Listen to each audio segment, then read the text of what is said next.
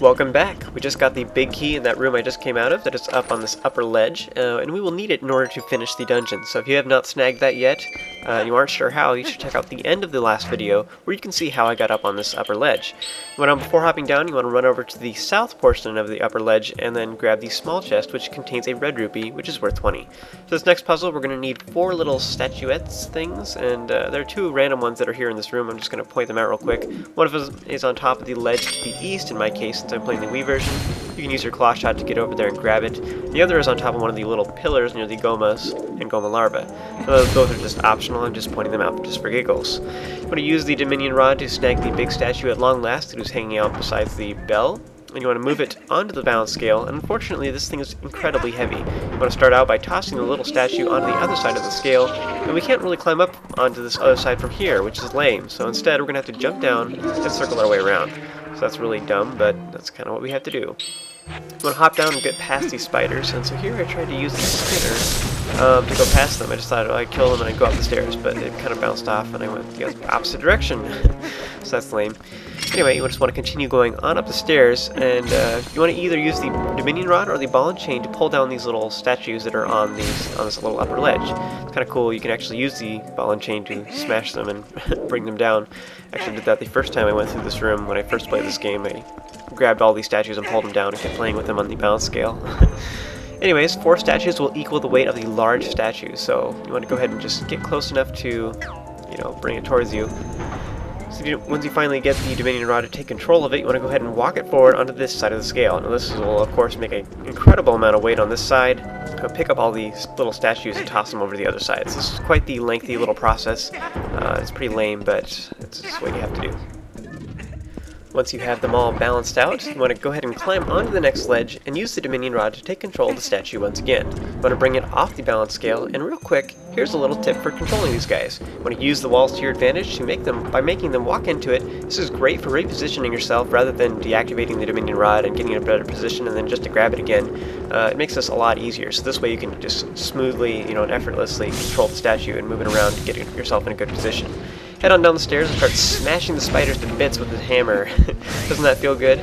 This whole situation kind of just makes me think that uh, this dungeon didn't initially have Gohma and Gohma Larva at all. As in the development team, you know, they already designed all these rooms, but as they were coming back with the statue, they said to themselves, what's something that would feel really good to smash to bits? And all the ladies on the development team said, spiders! I just, just can imagine the situation, and thus, now there's spiders in the Temple of Time. Anyways, when you're all done messing around, you want to go ahead and make the statue walk into the bell thing, and then walk on out the door.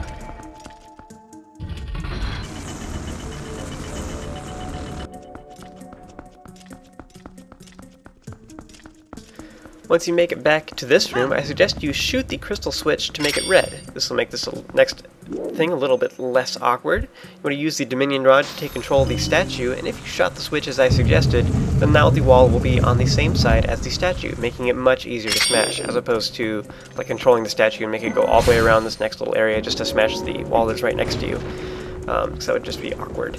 Now next I suggest you kill the other wall as well, and here I was kind of in denial. I didn't really want to reposition myself and get behind the statue, so instead I just kind of kept wandering back and forth trying to smash the wall. I still got it though, because I'm so cool.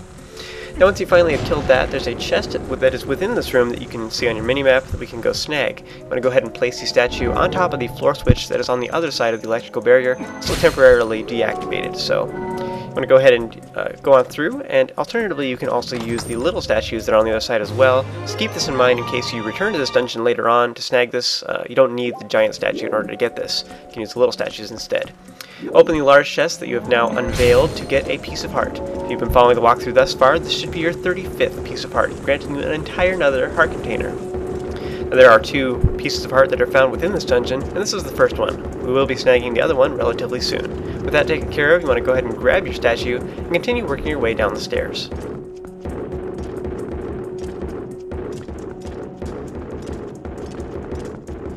In this room, there's, uh, yeah, not much to say. You just simply want to break through the walls, and uh, it's just a piece of cake. So you just walk the statue into the bell, and then continue on into the next room.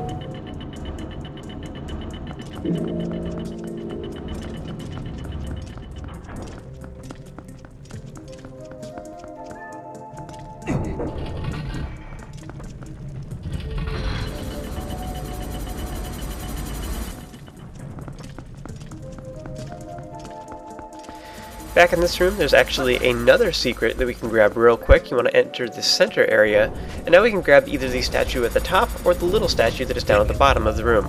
Either way you go, it doesn't really matter. And if you go the top route, as I am doing in this example, you can grab the large statue, and you can use the Dominion Rod to pull it on over to your platform. So I'm going to go ahead and just place it on the edge, and stop using the Dominion Rod so I can leave it there.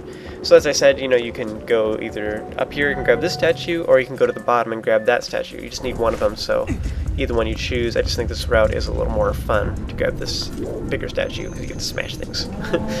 now we'll go ahead and return to the mid-level, and you can use the statue to smash the blade traps. So this makes it a little bit easier, and it's a little more fun fun. I just love smashing things.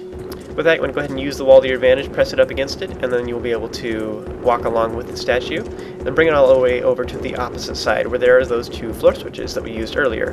Go ahead and place the statue on top of one of them, then you can return to the middle of this area, and there is another one of those little statues right here. Now that you have the Dominion Rod, you can use that as well to make this walk around if you like. It doesn't really matter. Just be really careful not to, you know, like walk it off the ledge. So here, for example, I picked it up at the very end. Once you get it to the end, you want to place it on the other switch and then use the platform to get up to the next ledge and go on through the door. This will take you back to a familiar room that we've actually been in before, but this time around there are a bunch of Gohma and Gohma larvae. You want to steadily kill them off using attacks such as the spinner, bomb arrows, your sword, or your wolf form. Now, unlike the last time we were here, this isn't really necessary to kill them in order to open the door that we just came in from, so technically you can just ignore them if you like, but I'm going to kill them just for the heck of it.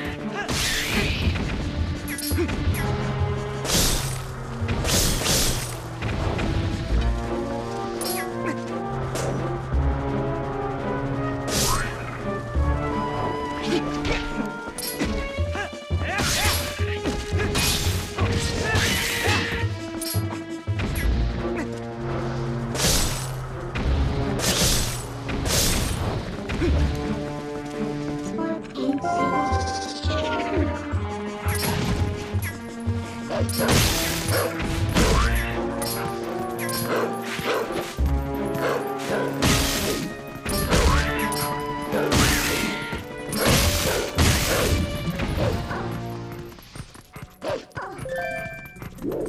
Once you have killed them all, assuming you didn't just simply avoid them instead, you to go to the south end of the room and taking one of these little statues with you. Now you'll see that on the platform that is off to my left there is a statue up there, but the one to the right does not have a statue on it, so you want to go ahead and toss this one up there, um, and it might take a little bit for you to position yourself just correctly so that uh, you, know, you can actually get it up there. Once you have tossed it up there, you want to go ahead and use the Dominion Rod on either one while standing on the middle platform. Now you can walk it off the ledge and onto the switch that's at the bottom. So you walk down the ramp, go off the ledge, and then move around until you get it on top of the switch. Once you have that pressed down, it's kind of a cool little puzzle. You want to return to the top and do the same with the other statue. So in this case, I actually tossed this one a little bit far forward. Um, it doesn't matter.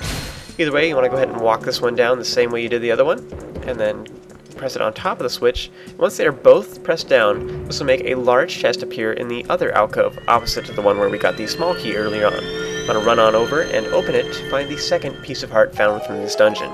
If you've been following the walkthrough thus far, this should be your 36th piece of heart in total. That's all we had to do here, so return to the previous room where I will meet up with you guys in the next video. So I will see you guys there.